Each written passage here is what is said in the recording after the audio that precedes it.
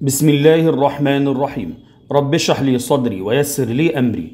واحلل عقدة من لساني يفقه قولي. أبناء وحبايبي طلاب وطالبات الصف السادس الابتدائي ومتابعينا الأفاضل من كل مكان. السلام عليكم ورحمة الله وبركاته. معكم حسام أبو أنس أرحب بكم في مراجعة مادة التربية الدينية الإسلامية تعدادا لامتحانات نهاية الفصل الدراسي الثاني. في هذا الفيديو إن شاء الله يا حبايبي هنحل خمس نماذج من سلاح التلميذ. خمس نماذج من سلاح التلميذ على المنهج كاملا. لكن فضلا لأمرا لا تنسوا الاشتراك في القناة وتفعيل جرس التنبيهات ليصلكم كل جديد لدينا على القناة. واضغطوا إعجابا وتعليقا دعما لنا لنستمر في نشر المزيد من الفوائد. يلا بنا حبايبي نبدأ على بركة الله. طبعا السؤال الأول بيكون عبارة عن القرآن الكريم. اقرأ قوله تعالى ثم أجب. قال تعالى إذا زلزلت الأرض وأخرجت الأرض أثقالها وقال الإنسان ما لها؟ يومئذ تحدث أخبارها بأن ربك أوحى لها يومئذ الناس أشتاتا ليروا أعمالهم. رقم ألف. اكتب المحذوف من الآيات السابقة. إذا زلزلت الأرض إيه؟ زلزالها. وأخرجت الأرض أثقالها وقال الإنسان ما لها يومئذ تحدث أخبارها بأن ربك أوحى لها يومئذ يصدر الناس أشتاتا. اختر معنى زلزلت انشقت اهتزت انفجرت. الزلزال اللي هو إيه؟ الاهتزاز. بأي شيء تتكلم الأرض يوم القيامة؟ تعالوا كده نستخرجها من الآية الكريمة وأخرجت الأرض أثقالها وقال الإنسان ما لها؟ يومئذ تحدث إيه؟ أخبارها. يبقى تتحدث تتحدث بالأخبار والأحداث التي حدثت عليها. تمام؟ في الدنيا حتى يوم القيامة. ما نوع المد في كلمة الإنسان؟ طبعا المد عندي يا مد نقول عليه أصلي تمام؟ اللي هو إيه الأصلي؟ اللي هو الطبيعي اللي هو الطبيعي. أو نقول عليه مد إيه؟ فرعي مد فرعي. اللي هو لما بيجي حرف مد وبعده إيه؟ وبعده سكون أو مد وبعده همزة. تمام؟ يبقى المد الطبيعي آه مد طبيعي جدا ما فيهوش أي مشكلة ما فيهوش أي زي كده. بيبقى فيه حرف مد يا إما الألف يا إما الواو يا إما إيه؟ يا إما الياء. لكن الفرع بيكون حرف مد زائد سكون أو مد زائد همزة. هنا فين المد هنا؟ الألف. هل بعدها سكون أو همزة؟ لا. يبقى ده اسمه مد إيه؟ مد طبيعي مد طبيعي. الحديث الشريف.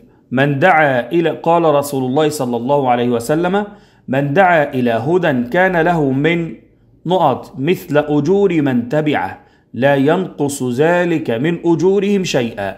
ومن دعا إلى نقط كان عليه من الإثم مثل آثام من تبعه لا ينقص ذلك من نقط شيئا. من دعا إلى هدى كان له من إيه؟ من الأجر من الأجر مثل أجور.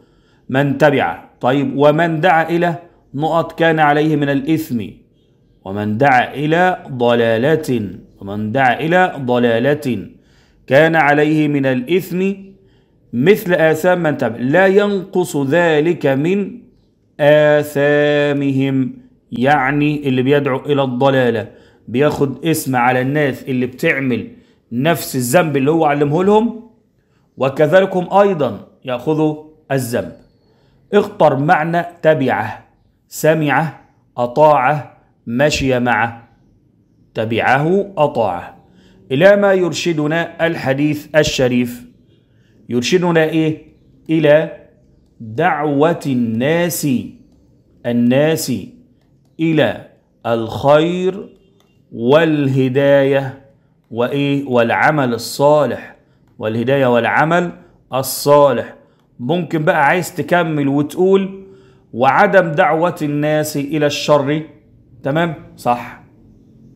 يلا نروح ثالثا العقيدة. أجب عما يلي. صل الجمل في العمود الأول بما يناسبها في العمود الثاني. مسامحة الآخرين والعفو عنهم من لطف الله بعباده. يشفع الرسول صلى الله عليه وسلم. طيب هنوصل إيه؟ مسامحة الآخرين والعفو عنهم. ب. لمن تساوت حسناته وسيئاته من أسباب النجاة يوم القيامة فرض عبادات يمكن أداؤها بسهولة ويسر. مسامحة الآخرين والعفو عنهم إيه؟ آه تمام. دي من أسباب النجاة يوم القيامة. من أسباب النجاة يوم القيامة. من لطف الله بعباده. آه اللطف بتاع ربنا سبحانه وتعالى أن عمل معهم إيه؟ فرض عبادات. يمكن أداؤها بسهولة ويسر. يشفع الرسول صلى الله عليه وسلم تمام لمن تساوت حسناته وسيئاته. اكتب اثنين من الأعمال الصالحة التي تدخل العبد الجنة. عايزين حاجتين كده من الأعمال؟ طبعا في درس إيه؟ في درس وصف الجنة. فيه إيه مثلا؟ ممكن نقول إيه؟ آه ممكن نقول من أهم ذلك الصلاة على وقتها ده سبب كبير قوي لدخول الجنة. إيه كمان؟ حسن الخلق. ده أيضا سبب من أسباب دخول الجنة. طبعا ممكن نزود أنت بقى تقول لي إيه مثلا بر الوالدين؟ تمام؟ ممكن تقول المذاكرة وطلب العلم كلها دي من أسباب دخول الجنة. اختر الإجابات الصحيحة. نقول اللهم افتح لي أبواب رحمتك عند الخروج من المسجد دخول المسجد كلاهما صواب. لا طبعا دخول المسجد. الخروج بنقول إيه؟ اللهم إنا نسألك من فضلك. القدرة المادية والجسدية شرطان ليه؟ مادية وجسدية. يعني معاك فلوس وتقدر. ها الصوم ولا الصلاة ولا الحج؟ آه يبقى دي في عبادة إيه؟ عبادة بدنية وفيها مالية. تمام؟ يبقى الحج من اقترض مالا ولم يستطع رده فله نصيب من الزكاة لأنه ده بنسميه ابن السبيل ولا من الغارمين ولا أسير. ده اللي اقترض ماله مش قادر يسده آه ده من الغارمين اللي هم المديونون. خامسا ضع علامة صح أمام العبارة الصحيحة وعلامة خطأ أمام العبارة غير الصحيحة. نقضت قريش صلح الحديبية فكان فتح مكة بوحي من الله عز وجل. آه تمام. الصلح الحديبية كان قد إيه؟ عشر سنوات. لكن قريش نقضت المعاهدة بعد سنتين. قتل بنو إسرائيل سيدنا عيسى عليه السلام. لا طبعا بل رفعه الله إليه. هم القتلوا مين وصلبوا مين؟ من شبه لهم. وكان من أتباع سيدنا عيسى. خد بالك كان من أتباع سيدنا عيسى. كان رسول الله صلى الله عليه وسلم يحب سماع القرآن من عبد الله بن مسعود رضي الله عنه. العبارة صحيحة. اذكر اثنين من وصايا الرسول صلى الله عليه وسلم في خطبة الوداع. في خد بالك فيه وصايا. وقت خطبة في خطبة الوداع وفيه وصايا عند وفاة النبي صلى الله عليه وسلم. فلازم نحفظ دي ولازم نحفظ دي. هنا بيقول عايز اتنين من وصايا الرسول في خطبة الوداع. أول حاجة النبي صلى الله عليه وسلم أوصى بها الحفاظ على حقوق العباد منها حق إيه؟ حق الدماء وحق الأموال. طيب إيه كمان؟ احترام النساء. احترام النساء. وتقديروهن تمام؟ ممكن نكتب إيه كمان؟ ممكن نكتب الالتزام بالقرآن والسنة. الالتزام بالقرآن وإيه كمان؟ والسنة. تركت فيكم ما إن تمسكتم به. إيه كمان؟ التعايش في تواضع وسلام مع الناس. التعايش في تواضع وسلام مع الناس. ولكن دي أهم إيه؟ أهم الوصايا. انتهينا حبايبي من الامتحان الأول يلا مع بعض نروح للاختبار اتنين. أولا القرآن الكريم. اقرأ قوله تعالى ثم أجب. قال تعالى يومئذ يصدر الناس نقط ليروا أعمالهم. فمن يعمل مثقال ذرة ومن يعمل مثقال ذرة شرا يرى. يومئذ يصدر الناس إيه؟ أشتاتا. يومئذ يصدر الناس أشتاتا ليروا أعمالهم. فمن يعمل مثقال ذرة خيرا يره ومن يعمل مثقال ذرة شرا يره. ما معنى مثقال؟ مثقال معناها وزن عدد نوع. مثقال يعني وزن ذرة. مثقال معناها إيه؟ وزن ذرة. ماذا نتعلم من قوله تعالى؟ ومن يعمل مثقال ذرة شرا يره. نتعلم إيه؟ أن الإنسان هيعمل إيه؟ آه يرى كل ما فعله من شر يوم القيامة ولو كان إيه؟ صغيرا. يبقى هنتعلم أن الإنسان يرى كل ما عمله. ما عمله. تمام؟ طبعا هنا بيقول لنا إيه؟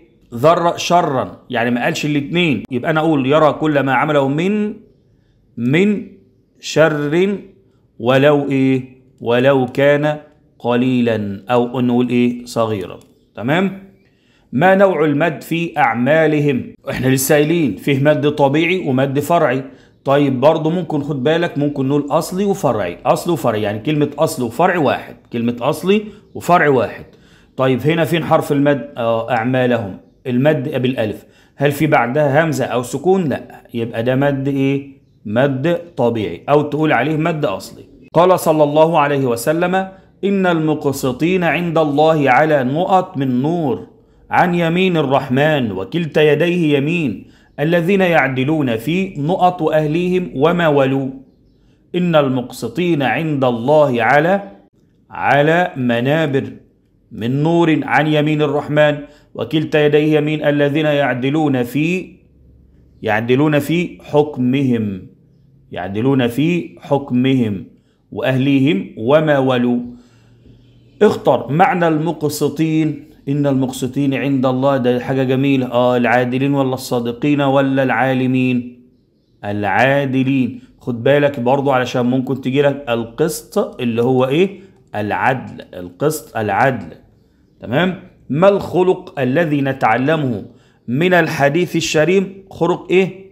خلق آه العدل. أن يكون الإنسان عادلا أن يكون الإنسان عادلا عادلا في في إيه؟ في حكمه حكمه على نفسه وعلى أهله وعلى الذين تولى الحكم عليهم أو الرئاسه عليهم. ثالثا العقيدة. أكمل بالمناسب مما بين القوسين. عدم يحزنون يرفعان. أهل الجنة لا يمرضون ولا يهرمون ولا نقط ولا يموتون. ولا يحزنون ولا يحزنون ولا يموتون. نشر العلم والدعوة للخير نقط شأن الإنسان في الدنيا والآخرة. تنشر علم تدعو للناس الخير يعني ها؟ يرفعان. الاتنين إيه؟ يرفعان. الله تعالى صاحب الحياة التامة الكاملة التي لا يسبقها التي لا يسبقها إيه؟ لا يسبقها عدم. أنا عايزك بقى تحفظ العبارة دي ودي معناه إيه؟ معنى اسم الله الحي. تمام؟ احفظها اكتبها عندك واحفظها. يعني إيه الله الحي؟ يقول لك ما معنى الله الحي؟ تقول له إيه؟ أنه صاحب الحياة التامة الكاملة التي لا يسبقها عدم وليس بعدها موتان. صاحب الحياة التامة الكاملة التي لا يسبقها عدم وليس بعدها موت. اذكر أمثلة لأعمال تثقل كفة الحسنات. طبعا في حاجات كتير جدا. فيه مثلا إيه؟ في حسن الخلق. في مثلا الصدقة. فيه مثلا قول الحمد لله تثقل الميزان. في سبحان الله فيه بر الوالدين. تمام؟ ضع علامة صح أمام العبارة الصحيحة وعلامة خطأ أمام العبارة غير الصحيحة. من آداب المسجد خفض الصلاة عند قراءة القرآن بعد الصلاة. العبارة طبعا من آداب المسجد. لا يجوز إخراج الزكاة لبناء المدارس والمستشفيات. لا غلط. نقول إيه؟ وفي سبيل الله افتكروا لما شرحناها في آخر الدروس. وفي سبيل الله قلنا في أعمال البر وأعمال الخير. وقلنا إيه؟ شرحنا مثلا كتزويج. الأرامل كتزويج الشباب الفقراء اللي مش قادرين يتزوجوا كبناء مدارس كبناء مستشفيات خيرية. الزكاة تحقق التكافل الاجتماعي بين أفراد المجتمع. التكافل يعني التعاون والترابط. ده حاجة كويسة جدا. طبعا. كيف نشكر الله تعالى بقلوبنا؟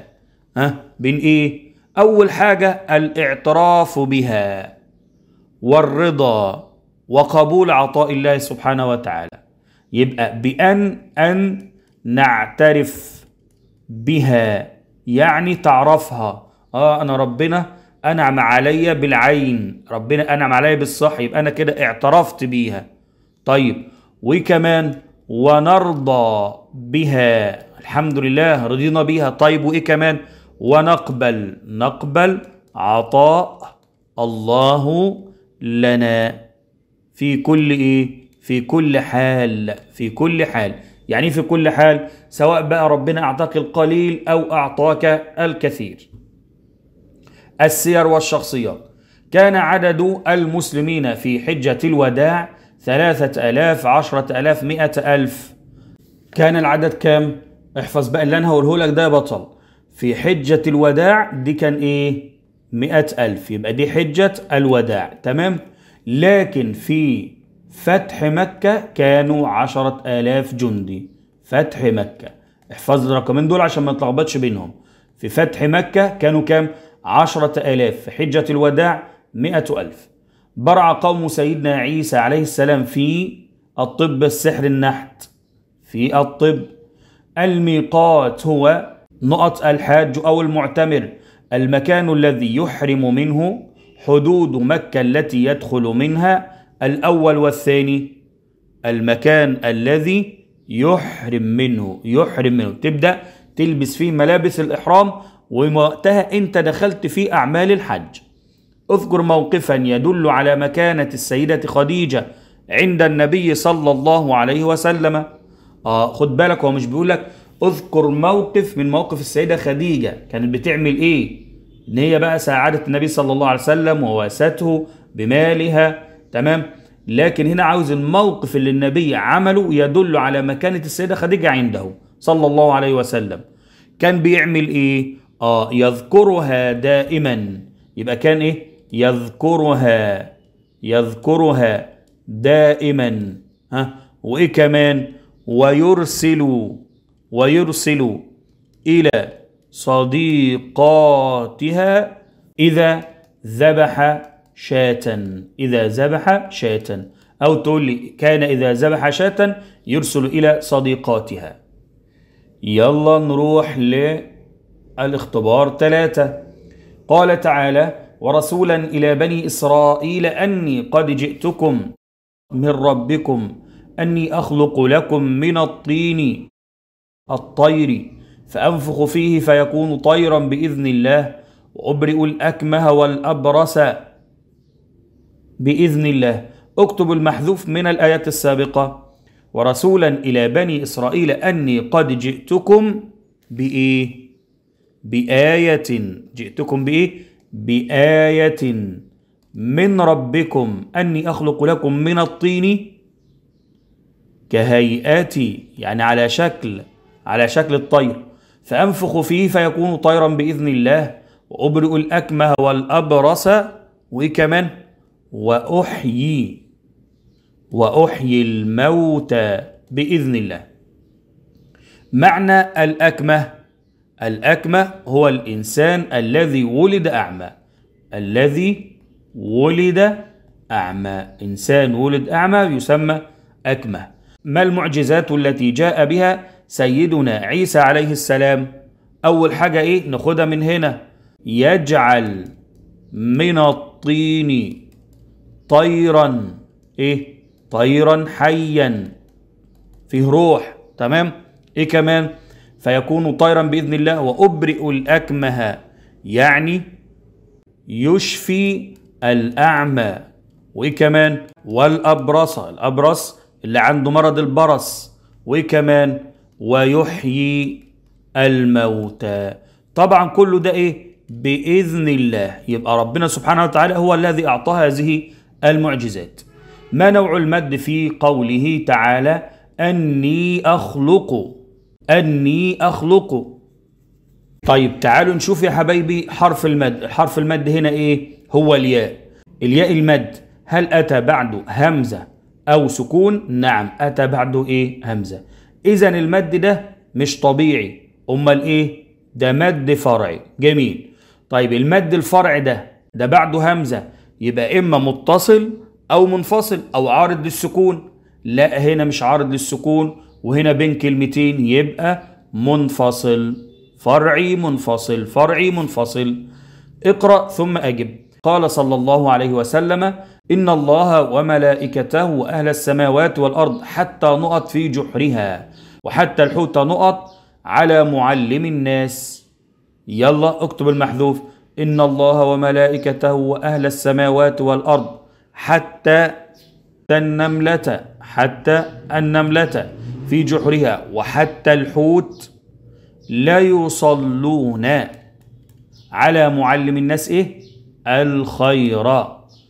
أهل السماوات والارض يصلون. معنى يصلون إيه؟ يدعون يرحمون يعبدون. يدعون. طبعا اللي بيرحم ربنا واللي بنعبده ربنا سبحانه وتعالى لكن هم بيدعوا لمعلم الناس الخير. إلى ما يدعون الحديث الشريف. إلى حاجتين اتنين. طلب العلم وإيه كمان؟ وتعليمه للناس. اتعلم العلم علمه للناس يدعو لك هذه الأشياء. ضع علامة صح أمام العبارة الصحيحة وعلامة خطأ أمام غير الصحيحة. يوم القيامة يرى العبد سيئاته التي تاب عنها كما هي. لا طبعا ده غلط. خد بالك دي من قوانين الحساب يوم القيامة. اكتب فوقها كده قوانين الحساب يوم القيامة. يقول لك إيه يوم القيامة؟ إيه اللي بيحصل؟ والقوانين الموجودة فيه إيه؟ منها أن الله سبحانه وتعالى يبدل ها يبدل السيئات إلى حسنات. ده إمتى؟ في حالة واحدة بس. إذا تاب العبد منها. أي يلا نكتبها. إذا تاب العبد منها. اللي يتوب من السيئات اللي عليه ربنا يبدل هذه السيئات إلى حسنات.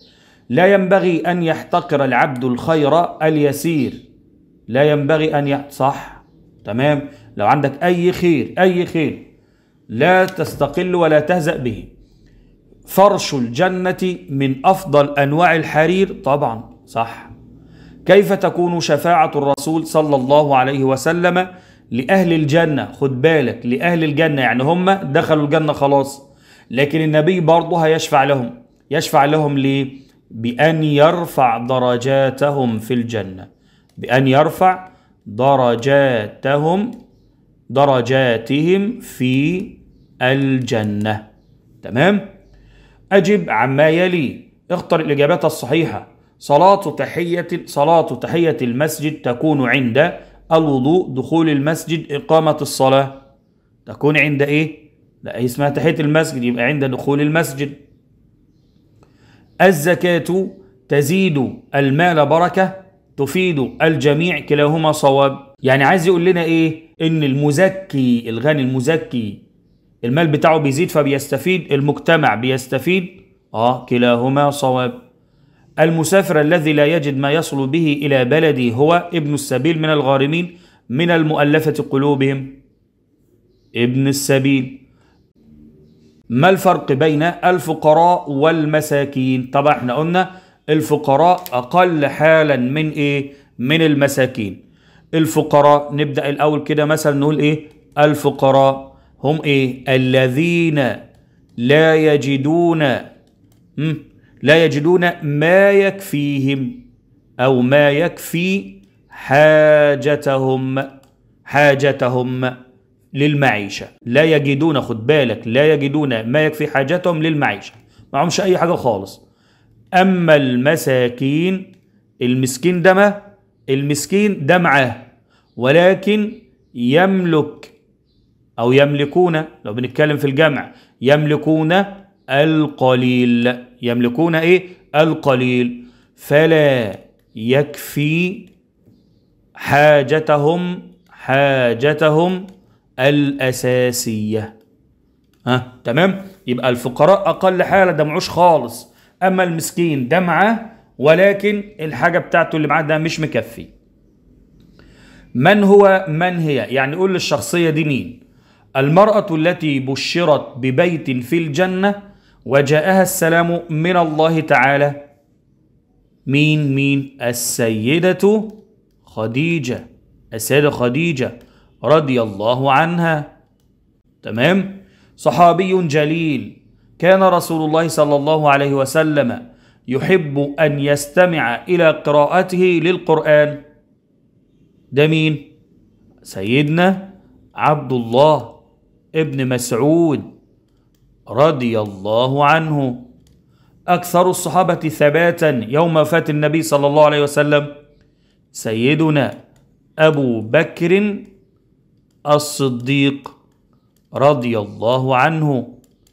ماذا طلب الحواريون من سيدنا عيسى ومما حذرهم؟ أن ينزل عليهم مائدة من السماء. من إيه؟ السماء. طب إيه السبب؟ يأكلون منها وتكون لهم عيدا. يأكلون منها وتكون لهم عيدا. وكمان ويوقنون بصدق سيدنا عيسى عليه السلام.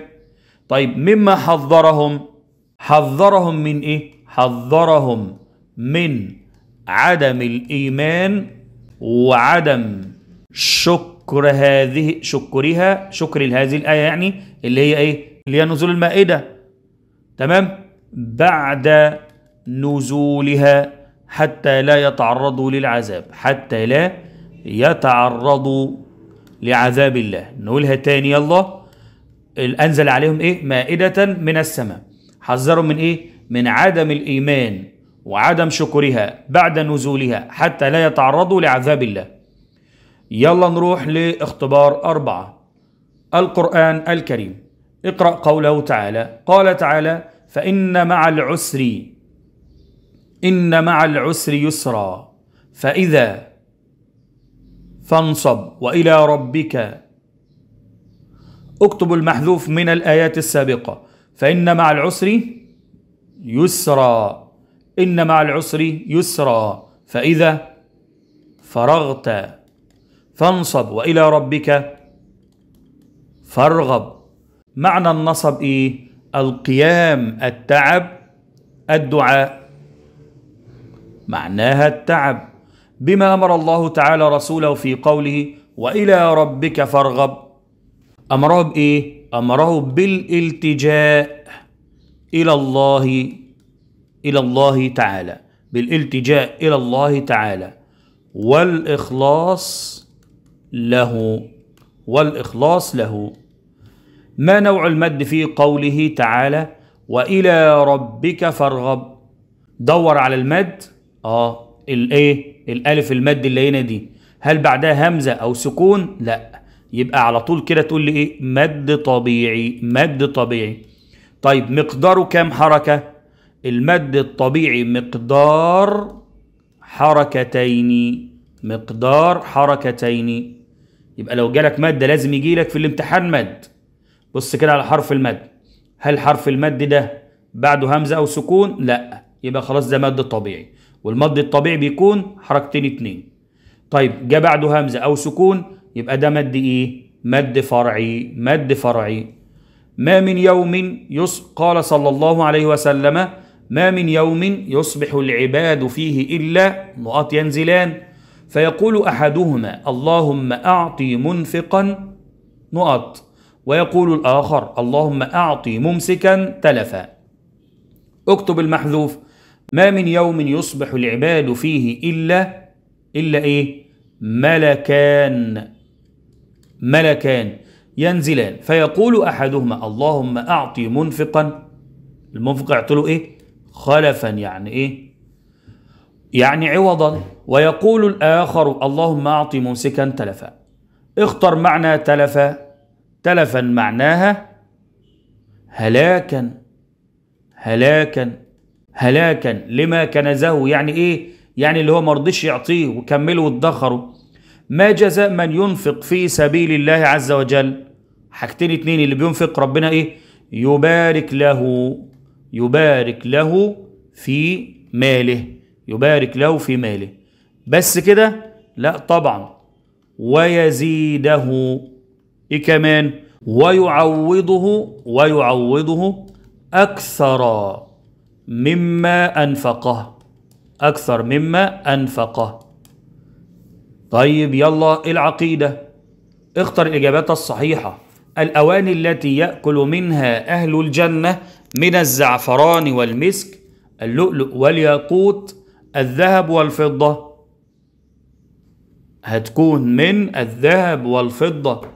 نسأل الله لنا ولكم الجنة.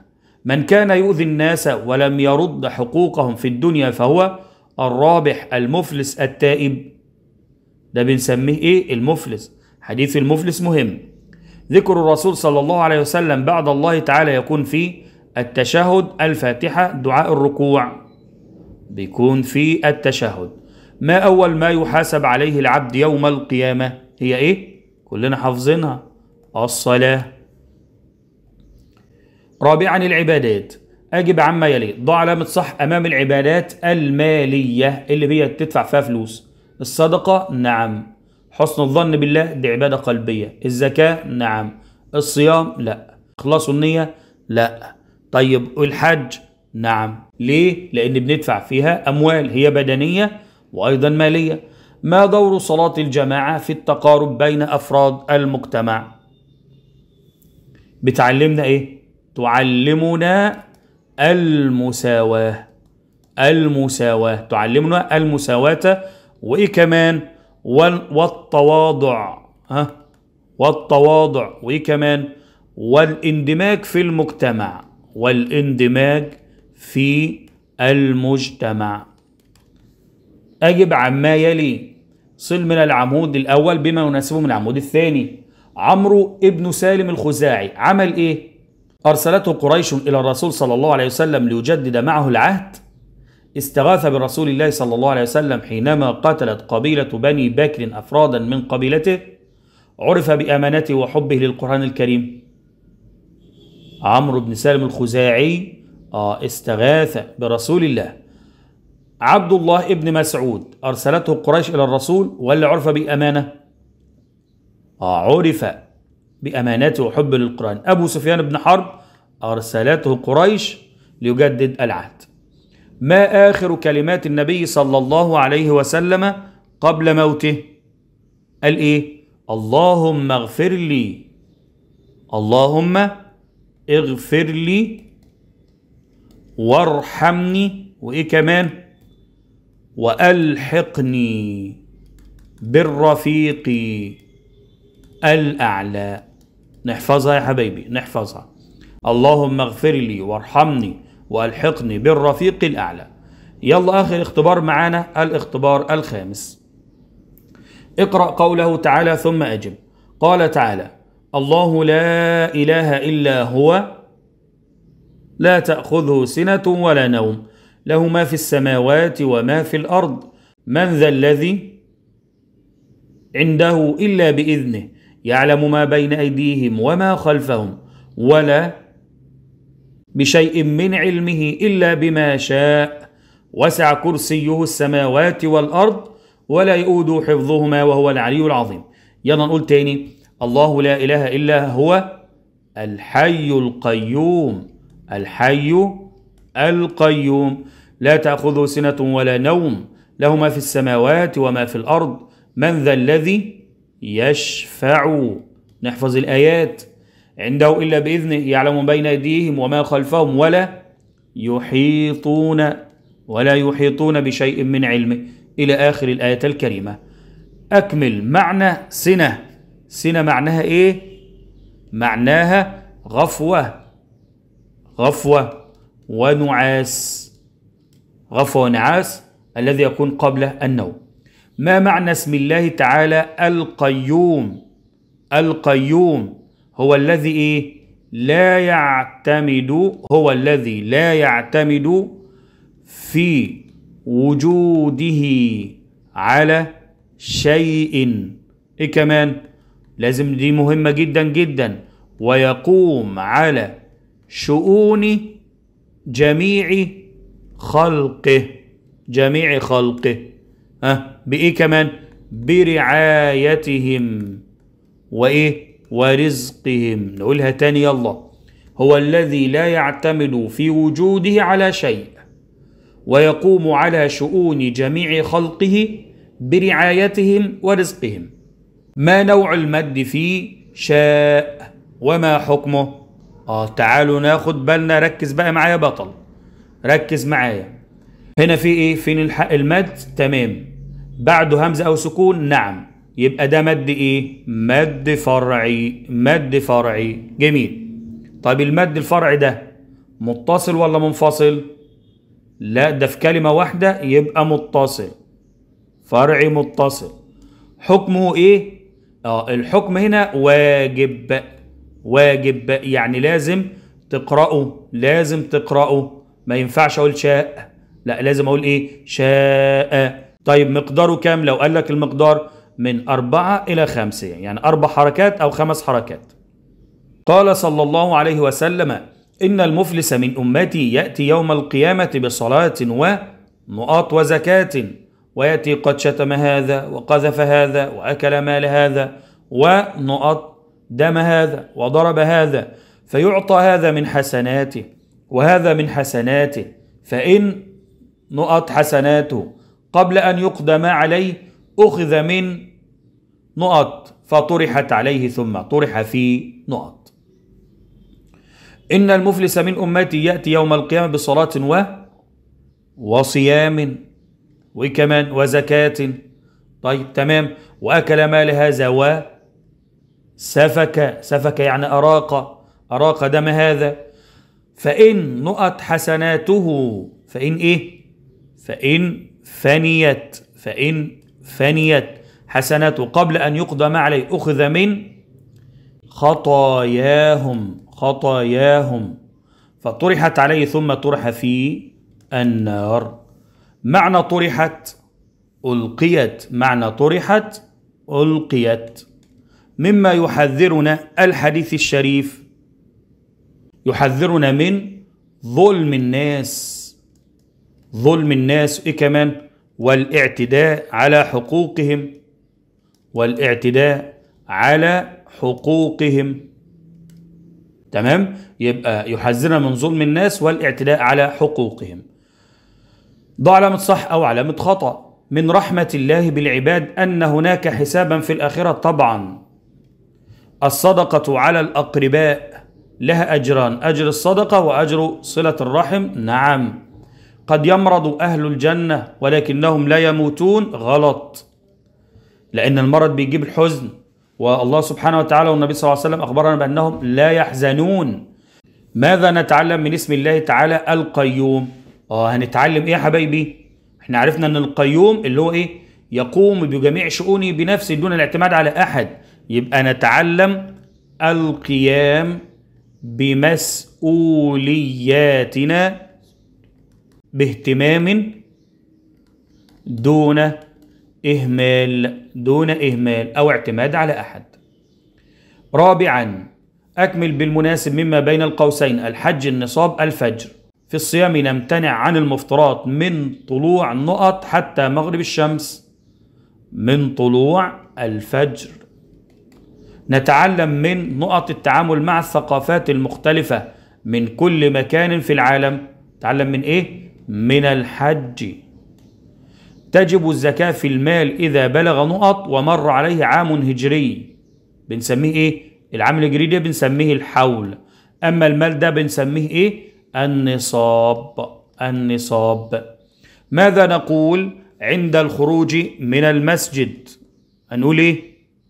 اللهم اللهم إني أسألك من فضلك الدخول اللهم افتح لي أبواب رحمتك لازم عبد الله ابن مسعود رسول الله صلى الله عليه وسلم وشهد معه جميع الغزوات نعم سمي العام الذي توفيت فيه السيدة خديجة بعام الحزن نعم من معجزات عيسى عليه السلام تحول عصاه إلى ثعبان لا طبعا خطأ ده من معجزات سيدنا موسى. بما وصفت السيدة خديجة رسول الله صلى الله عليه وسلم عندما نزل من غار الحراء قالت له إيه؟ إنك إيه؟ إنك لتصل الرحم. لتصل إيه؟ الرحم. وتحمل الكلة. وتحمل الكلة. وتكسب. وتكسب المعدومة. تمام؟ وتقري الضيف وتقري الضيف وتعين وتعين على نوائب الدهر. تمام يا حبايبي؟ بكده نكون انتهينا من مراجعتنا خمس نماذج من نماذج سلاح التلميذ على مادة الدين الفصل الدراسي الثاني. في نهاية أسأل الله تعالى أن تكونوا استفدتم واستمتعتم بهذا اللقاء. ولا تنسوا الاشتراك في القناة وتفعيل جرس التنبيهات ليصلكم كل جديد لدينا على القناة واضغطوا إعجابا وتعليقا دعما لنا لنستمر في نشر المزيد من الفوائد. سبحانك اللهم وبحمدك أشهد أن لا إله إلا أنت أستغفرك وأتوب إليك. لكم مني أطيب الأمنيات بالنجاح والتوفيق. والسلام عليكم ورحمة الله وبركاته.